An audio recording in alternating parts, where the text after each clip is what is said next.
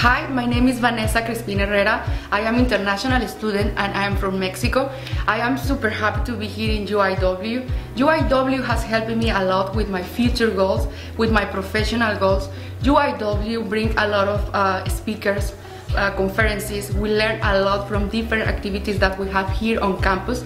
Definitely, I will recommend UIW for all the students because we have small classes and we can talk with our professor about our activities, about our projects, and we receive a strong feedback for our projects.